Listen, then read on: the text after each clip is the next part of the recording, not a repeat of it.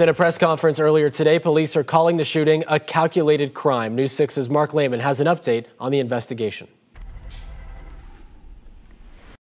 During an update with the Orlando police, investigators say they were able to arrest the suspect in yesterday's shooting without any further violence. As that man now faces first degree murder charges in the killing of his wife, we're learning more about his background and a previous run in with officers.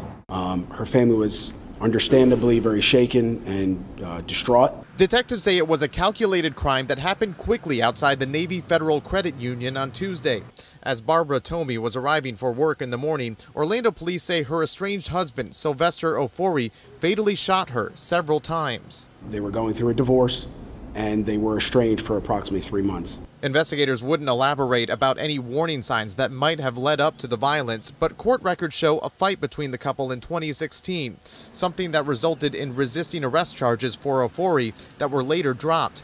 That was his only arrest in Orange County until yesterday. Someone committed a heinous act of violence towards a loved one, um, and there's unfortunately no excuse for that.